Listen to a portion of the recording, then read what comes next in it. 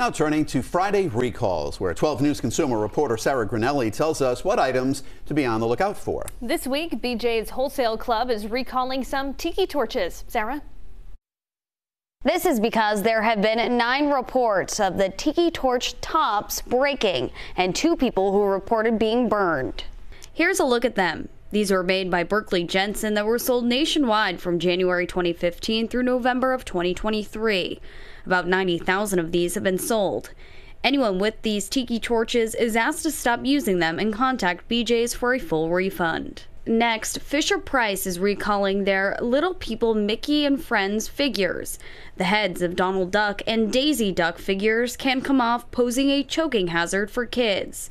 There have been three reports of that happening, including one report of a detached head being in a young child's mouth. No injuries have been reported.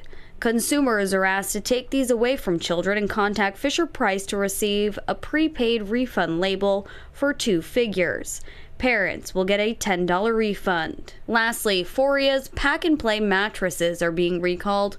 The Consumer Product Safety Commission says the mattresses violate multiple provisions of the safety standards for crib mattresses. The mattresses also could be a suffocation hazard for infants. These were sold on Amazon from May of 2023 through August of that year. Consumers are asked to send a photo of the destroyed mattress to the company to get a full refund. For more information on these recalls, head to our website, WPRI.com. In the studio, Sarah Guernelli, 12 News.